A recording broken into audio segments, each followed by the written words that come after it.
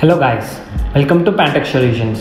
Today I'm going to show a demo on character recognition for Gujarati language using deep learning. So for that we have to go into the directory, first running the main file.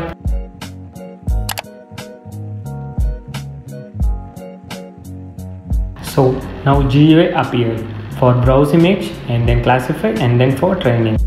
So here we have already created the dataset for every character of Gujarati language.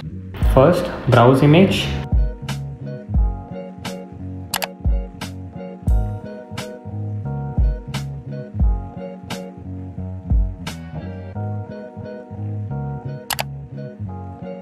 Click classify to recognize the class.